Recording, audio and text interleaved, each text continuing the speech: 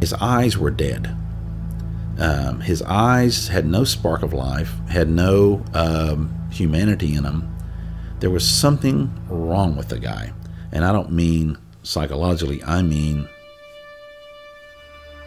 in his creation. Evil walks amongst us. Don't kid yourself. It comes calling when you least expect it. They were small females that he could easily manhandle. Some of them he would be able to pick them up by the throat, get their feet off the ground where they couldn't fight him. I had a front row seat to evil during 30 years of investigative reporting. I'm Robert Riggs. I created True Crime Reporter to tell the backstory of cases you may never have heard of before. Austin had never had torture, kidnapping, torture, brutalization uh, by a serial sexual sadist. I pulled out my reporter's notebooks. My law enforcement sources opened up their case files. We sat down to talk, and you can listen to our journey into darkness. I've dealt with serial rapists and murderers and, and all sorts of people, but this guy was just a sexually sadistic killer that had no conscience and was a true sociopath. Be advised that this podcast is for a mature audience and not for the faint of heart. Some episodes may contain profanity and graphic details of violent crimes. To follow True Crime Reporter, text True Crime to 33777. Text True Crime, that's two words, True Crime, to 33777. With that said, here we go on another journey into darkness. On November 16, 1998, guards on Texas death row at the Ellis Prison Unit moved serial killer Kenneth McDuff to a new cell. They put McDuff on death watch 36 hours before his execution. Every half hour, guards recorded his behavior and mood in a death row log. They noted that McDuff was sleepless and intense. McDuff had confidently expected to receive a stay of execution, but was shocked when he did not. McDuff told guards that he wanted to be remembered as a notorious serial killer. Armed guards moved serial killer Kenneth Allen McDuff off death row at the Ellis Prison Unit on the morning of November 17, 1998. They locked the 51 year old killer in a cage inside a prison van and shackled him to restraints. Guards told me he was docile and joking.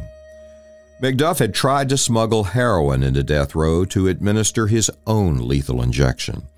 He wanted to control the end of his life just as he got a rush from controlling the end of his victims' lives. The prison gate swung open for the 12 mile drive south on Farm to Market Road 980 to downtown Huntsville, Texas. They headed to the Texas State Penitentiary, nicknamed the Walls Unit. The Walls Unit is the site of the Texas Death House. The massive red brick walled prison opened in 1849. It's located a few blocks off the town square and covers 54 acres. Texas releases all of its prisoners from the Walls unit. McDuff had walked out of here on parole nine years earlier. This time, he would leave in a pine box made by fellow inmates. 32 years of evading the death penalty for murdering three Fort Worth teenagers was coming to an end.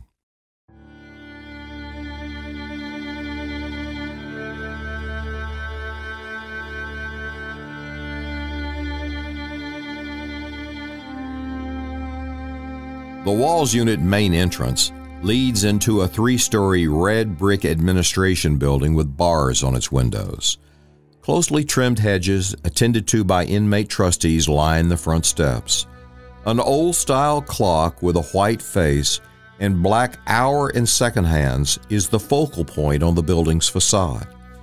During executions, all eyes turn to the clock at the stroke of 6 p.m. Central Standard Time. Texas law specifies that all executions are to be carried out at or after 6 p.m. Huntsville time. At the back entrance to the death house, guards escorted McDuff down a sidewalk lined with yellow roses planted and tended to by inmate trustees. Inside, guards conducted a cavity search. They locked McDuff in a small holding cell painted white. It contained a thin mattress that rested on a steel backboard, a metal toilet, and a small corner sink, all made by inmates in Texas prison factories. John Moriarty, who had been on McDuff's case for six years, made one last attempt to get McDuff to confess the location of the bodies of more than a dozen other women. McDuff asked for a cigarette. None of the officers smoked. No one had a lighter. Moriarty recalls how McDuff pulled out a lighter hidden in his clock. He reached into this item that he had in his property and pulled out a lighter, which was contraband in the prison system, and lit the cigarette that he was smoking. And um, On death row. in the in the death chamber, Oh my gosh. in the cells adjacent, adjacent to Uh-huh. the death, but in the death house.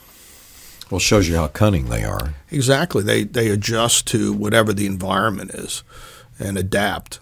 Outside the cell, two telephones and a Bible set on top of a small table covered with a white starched tablecloth. McDuff's last meal would be served here. He requested two 16 ounce T bone steaks, five fried eggs, vegetables, french fries, coconut pie, and a can of Coca Cola. The prison served McDuff the same meal every inmate received that day. No one gets T bone steak or special meal requests behind bars in Texas.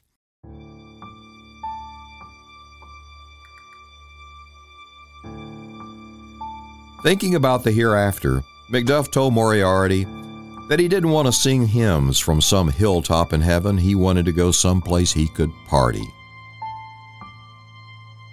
Outside the walls unit, the usual anti death penalty protesters with their picket signs were noticeably absent. John Moriarty witnessed McDuff's execution and fills in more details. There are two viewing rooms, uh, and a, and the drug room, uh, as well as the actual execution uh, chamber where the condemned is is brought in and and strapped down. And there's a a large team of individuals, uh, correctional officers that are there that escort the individual. People always used to ask me, well, um, do do you? Uh, I mean, don't you? Don't they have to fight uh, a lot of these guys into the chamber? I know if it was me, I mean, I would Kicking and screaming. I'd be kicking and screaming. But you know, um, uh, these guys are. Uh, I, I can count on one hand the number of times that they were. People either had to be uh, one one case where an individual had to be fought in, uh, and and put in there, but um, the other case, I mean, I, I know there was one where the guy said, "My my legs just won't carry me." He, then they picked them up and put them in there. But um, anyway, um, They're passive. they're passive, and and they um, it goes back to believe it or not, uh, looking good to the other boys on death row. That you know you want to go out like a man, and so they walk in and they lay down, and um, you know so. Anyway, so he, he walks in and lays down. Shortly after 6 p.m., five guards escorted McDuff on his final walk through a steel door into the death chamber. They placed McDuff on his back atop a gurney tightly covered by a white starch sheet. They strapped him down with six thick, wide, tan colored belts across his ankles, lower legs, thighs, waist, and chest. Next, the guards strapped McDuff's arms to armrests that swung out at an angle from each side of the gurney. Then they left the chamber. The execution team entered from an adjoining room where they operate the lethal injection apparatus. They inserted IVs into each of McDuff's arms. One IV is a backup. They tightly wrapped the entire length of McDuff's arms and hands with ace bandages. This is to prevent the condemned inmate from making an obscene gesture to the victim's family witnessing the execution. Guards escorted witnesses separately into two different rooms one for the condemned family, one for the victim's family. McDuff's daughter from a rape, who you heard about concerning bribery allegations in an earlier episode, and a nephew were his witnesses. Family members of four of McDuff's victims, law officers, and media representatives watched from the other room. Parnell McNamara, the deputy U.S. Marshal who started the original manhunt for the serial killer, describes the scene inside the victim's viewing room. Yes. And Mr. and Mrs. Brand, who he had killed their son, Robert Brand, in 1966. So it's a small room. I think it holds maybe 12, 15 people max. And the, the criminals' families on the other side of the wall. You can't see them. But when we went in there, he was already on the gurney. He was strapped down. And so I'm on the front row standing next to the glass. And they've got this microphone that comes down right in front of their face in case they want to say something. And Mr. and Ms. Brown were behind me. And I turned around to them and I said, Y'all need to be on the front row. So I moved them and put them in front of me, uh, waiting on the execution. The prison chaplain stood at the foot of the gurney with his hand on McDuff's right leg. The prison warden stood at the right side of McDuff's head. Moriarty fills in more details. During the execution, the warden is in there and the chaplain. The chaplain is the only person allowed to touch the inmate, and he usually has. And in this case, he did have his have his hand on his leg, and um, but that's the, the the scenario. And at that time, the um, the warden has a you know the last words. Ask him, you know, do you have anything you need to say? The warden gave McDuff two minutes to answer. A microphone suspended from the ceiling transmits the last words into each of the viewing rooms. At 6:18 p.m., McDuff said, "I am ready to be released. Released me." All of us were puzzled by McDuff's last words. Moriarty explains. What did that mean in prison terms? Well, obviously, he'd spent quite a bit of his life locked up, and and uh, he just uh, wanted to go. A lot of a lot. Of, wanted to get out and be free from being locked up. But you know, the um, a lot of guys they say something religious, or you know, they have an old saying around the penitentiary that Jesus Christ must certainly live in a penitentiary because everybody finds him when they get there. That's really true for people that are on death row. But when you're a sociopath uh, or psychopath, you um, it doesn't matter to you because it's all about you. When McDuff finished his last words, "I am ready to be released. Release me." The execution team released a lethal dose of chemicals into McDuff's IV. The serial killer let out a few brief gasps of air and exhaled a long breath. Officials pronounced McDuff dead at 6:26 p.m. Parnell McNamara continues his description. And he said, "I'm ready to be released. Release me." And that's all he said. And so they basically shot the juice to him, and uh, of course, like any execution, uh, he made some sounds, and then he expired. They declared him dead, and then he turned blue. And Mr. Brand turned around and grabbed me by the arms, and he shook me and he said, I've been waiting for this for over 30 years. And he was crying. And I said, You shouldn't have had to wait 30 years for this. And so, it, what a sense of relief and we walked out of there. I knew that dirty, low-life scumbag, piece of gutter trash would never hurt anybody else on this earth. And so, uh, you know, they call you after you witness an execution. I don't know if they still do it, but they used to call you and see if you were traumatized. And I said, the I, I told them, quit calling me. I'm fine. You know, I'm not, I was never traumatized by the execution. I was traumatized by what I found out he did to the victims. That's what traumatized me. So you don't need to call me anymore. I'm okay.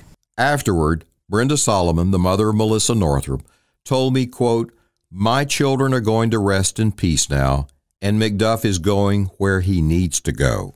I want y'all all to know I am very glad this is over with. My children are going to rest in peace now. And he's going where he needs to go. Family members of Robert Brand, one of the three teenagers that McDuff murdered in 1966, had waited for 32 years for this execution. Cindy Easley, the daughter of Robert Brand's sister, was two years old at the time of his murder. She said her mother was never the same afterwards. I was two years old when this happened. I, I don't have any memories of my family. That's what he took away from me. My mother loved her brother dearly, and she was never the same after that. Lori Bible, the sister of Colleen Reed, chose not to witness McDuff's execution. Afterward, she said, quote, What was important to me was that the death sentence be carried out and that he be executed and that he never have the opportunity to hurt another person on this earth. Darren Moore, the brother of Regina Moore, whose mother had confronted McDuff after she disappeared, said, quote, It's finished for him, but it still goes on for all of us. Author Gary Lavergne witnessed McDuff's execution. One of the things about um, the death penalty is that um, a lot of times people will say that it, it gives you closure. And, and that's not completely true. It's true about some things. For example, Colleen Reed's family now they don't have to go to any more parole hearings. Not not for McDuff, maybe for Worley, but not for McDuff. So in that respect, you know, the, the death penalty provided closure. They don't have to see him again. They don't have to hear from him again.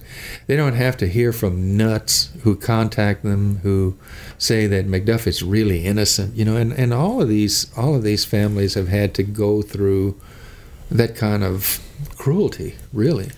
Um, but it doesn't provide closure uh, insofar as these are not things that you can forget. Colleen's the one that you remember and um, and, and, miss every Christmas, every Thanksgiving.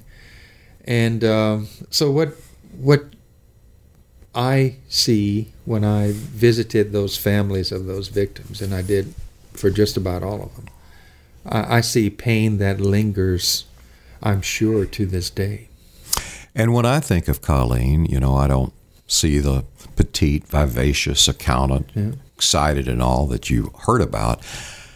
I always see that's the suffering that I read about in Worley's confession. In Worley's confession, and um, you know, I would when when her body was finally recovered, and uh, and you see that the the skeleton, her remains, you know, I I didn't. It, it wasn't my first reaction to say, well, she's finally at peace.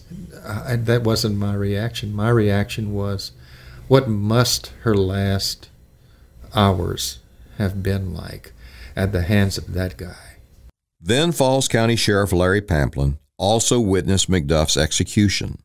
He still regrets not pulling the trigger when he and his father confronted McDuff at gunpoint in Bremond, Texas, when they pursued him for the 1966 murders. Got a parole system, and it should be fair and honest, and these individuals should be kept incarcerated that are a danger to the society. And McDuff, like I said, there's no telling how many people he's actually killed. Uh, Parnell and I have sat around and talked about it several times, and the best we could come up with somewhere between 22, 25 people. But stop and think how many lives that has destroyed besides the person that died. I mean, the mother, the father, the sisters, the brothers, the aunts, the uncles. Uh, it's just a crying shame that we could not have eliminated the source in Bremond, Texas, because my God, it'd be a lot more people living.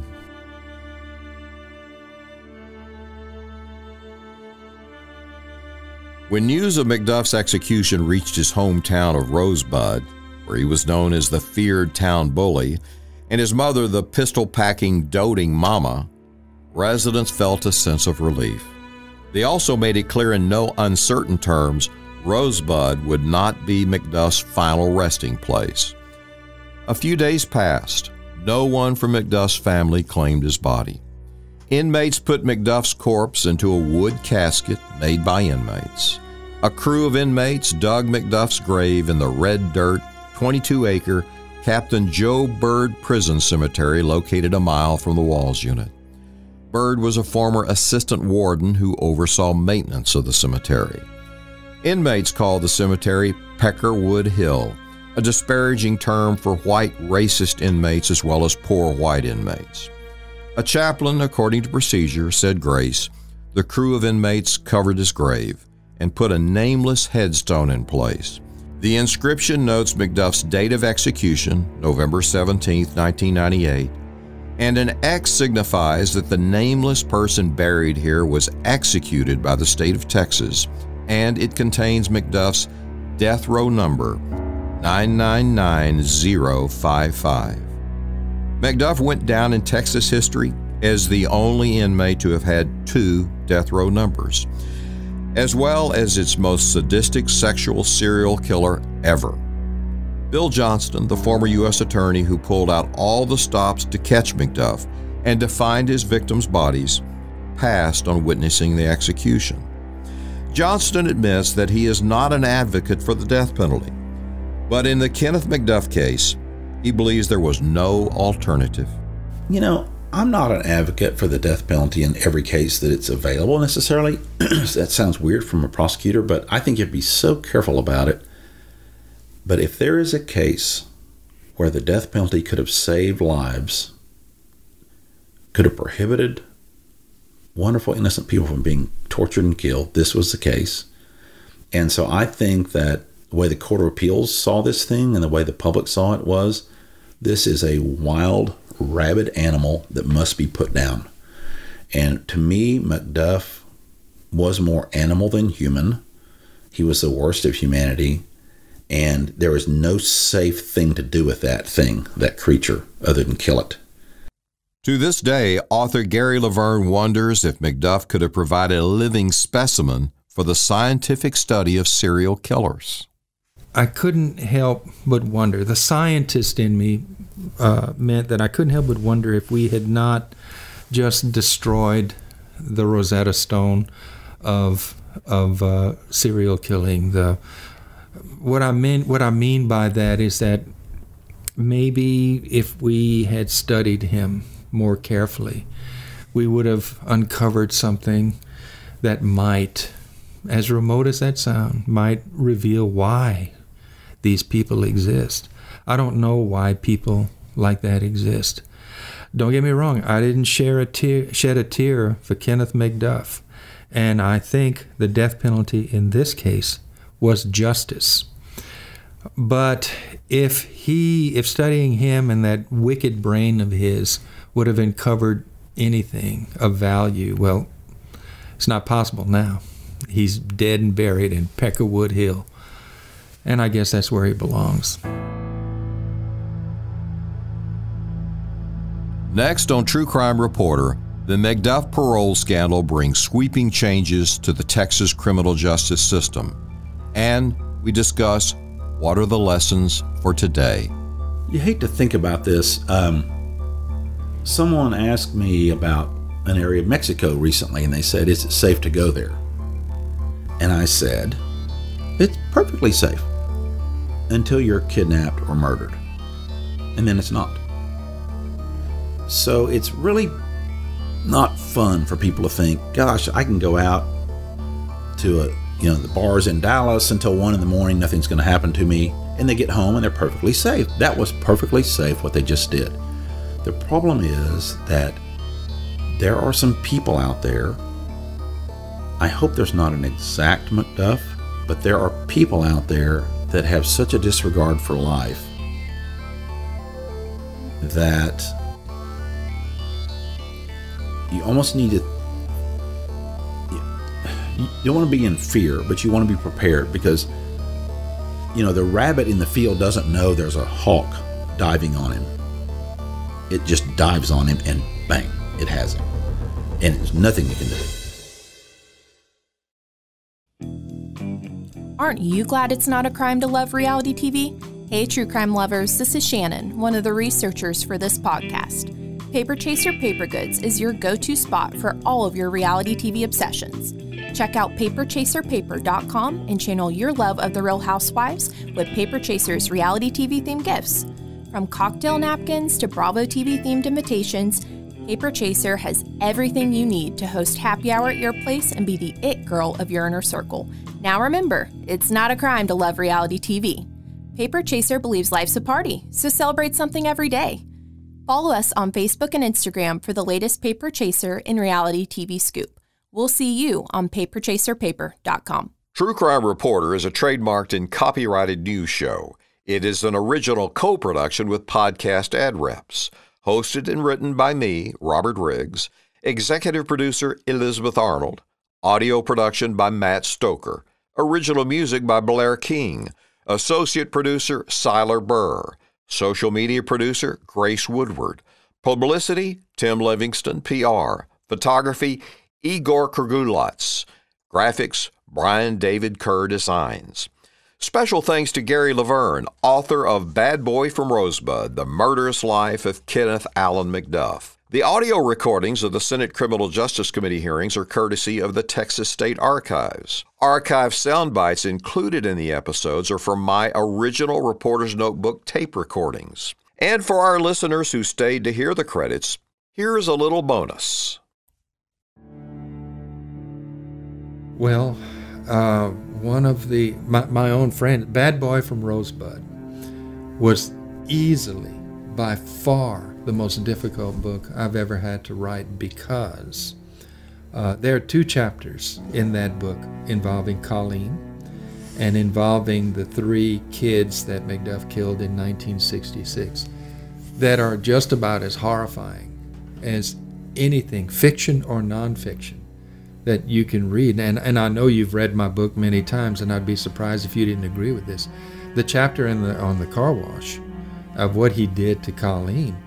I have many, many of my friends who tell me and who know me well that they can't believe I wrote such a thing. And the reason I did is because I had, quite frankly, painted myself into a corner.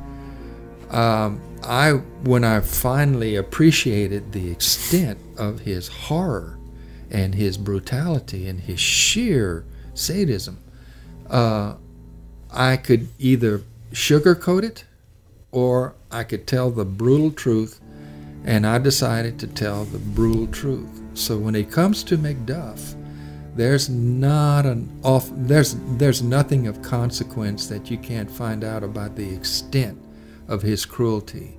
Uh, if you read the book, you'll you'll find out exactly what kind of person he was. And it's just unthinkable. I, as a seasoned Yeah. Journalist, war zones Yeah. and you, and I've seen all kinds of horrible things happen to people. When I read that Worley confession, Mm-hmm. that was unthinkable. You couldn't, fiction couldn't It's do it's this. something you can't get out of your mind. no, you cannot. Uh, to this day, you know, I think of Colleen.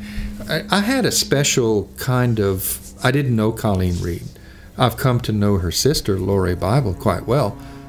It turns out that Colleen Reed and Lori Bible grew up as Cajuns in Louisiana, and we grew up about 40 miles from one another. I didn't know them, but um, but we grew up, and so when I had a special bond and relationship with Lori Bible because we came from Cajun, Louisiana, and um, and that added to the horror to me because I just can't imagine uh, a good Cajun girl from Evangeline Parish, Louisiana, uh, going through something like that. That that's foreign to how we grew up and where we're from.